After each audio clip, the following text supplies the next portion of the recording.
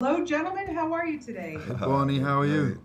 I'm great. Thank you so much for this absolutely stupendous series. I watched the entire thing. Oh, Um, really? Austin, let's just start with you because, look, you've both played real life people before.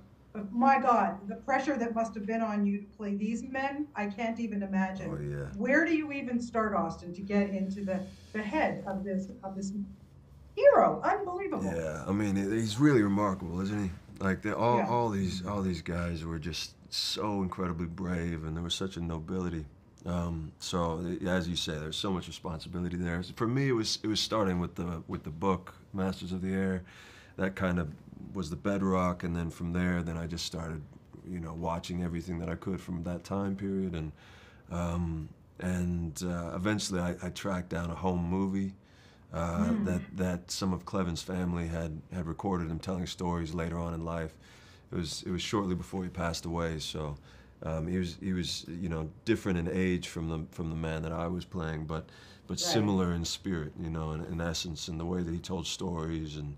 Um, and, and so that helped me to, to get a grasp of, of who he was more and um, and then and then you know then we had our boot camp that we did together and and having two weeks of being in boot camp with with everybody that you see in the show and the, Yeah. the amount of, of brotherhood and camaraderie that we felt during that time was was really incredible.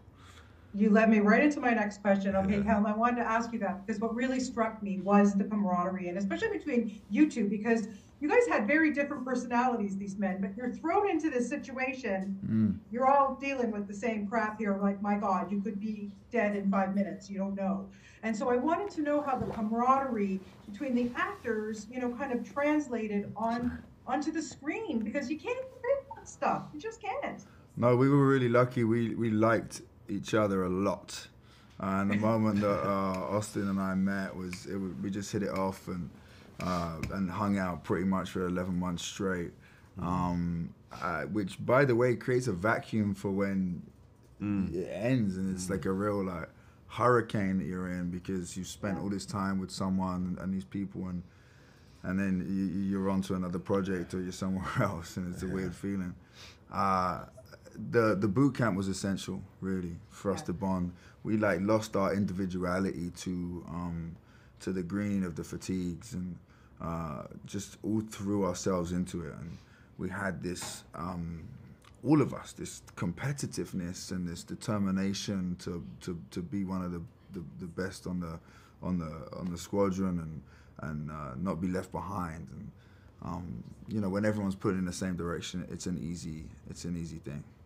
Mm. Yeah, all said and done, you know, when I watched the very, very end of this series and I'm watching the credits and how they showed the real people and then you guys have, I, I'm bawling. Like I need 18 boxes of Kleenex. It's unbelievable. so really quickly, Austin, uh, because I want to get this from both of you, how does working on something like this and knowing what these young men did for their country change you?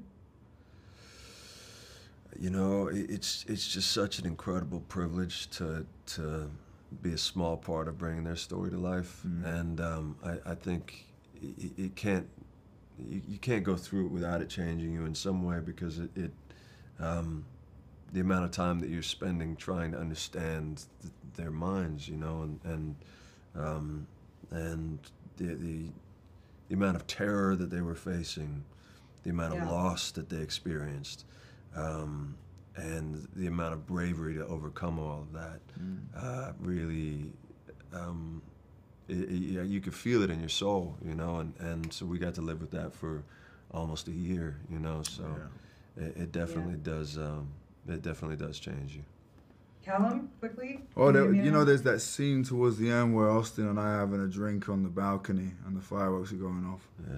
and there was uh, there was a synergy with, with what those guys had, had, had done that I felt between us and after doing something for 11 months and I don't want to compare being at war for two and a half years to making a TV show Of course. but there is something of, of there was a there was a sense of achievement that was was possibly one of the greatest in my life especially uh, at work in that moment. And, and, and I really felt that. And to do something of this magnitude with this amount of respect that I have for these guys is nothing but a pleasure and an honor. And uh, yeah I'll take that with me forever Yeah, well, you guys should be extremely proud of what you've done, and uh, you really have done these guys justice. So thank you so Thank much you. for your time today. Thank you. And and again, the series is absolutely spectacular. You did a great job. Thank you so thank much. you so much. Thank you. Nice to meet Have a you. great day.